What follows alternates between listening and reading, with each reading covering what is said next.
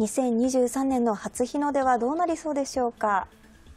太平洋側を中心に見えそうです、はい、あ見えそうです。はい、はい。ではマップなどもあるようですね。そうですね。はい、はい、予報センターが作った最新の初日の出マップなんですけどもね、えー、こんな形になっています。一言でまとめると太平洋側がバッチリのところが多くって、うん、えー、日本海側がちょっと難しいなという形ですね。うん、やはり日本海側は雨や雪となってしまうでしょうか。はい、そうですね。はい、はい。で、えーはい、ただあの太平洋側でもね、うん、少しちょっと気になるところがありますし、日本海側でも可能性がもっと広がるかもしれないというところがあるんですね。うん、はい。えー、ちょっとね関東のあたりと山口のあたり、はい、山口、うん、それから福岡のあたりのところをちょっと記憶しておいていただいて、こちら見ていただきたいんですが、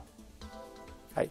えー、これ明日朝6時を示しているんですけども、まあ、これにこの天気分布かけてあるんですけども、えー、これにですね降水の状況と雲の状況を重ねてみるとこんな感じなんですね。これがこう,、えー、こういった雲がかかっているということで、えー、先ほどの天気マップあごめんなさい初日の出マップ出てるんですが山口の辺りはもしかしたら、えー、もう少しこう、ね、良くなる可能性があるんですね。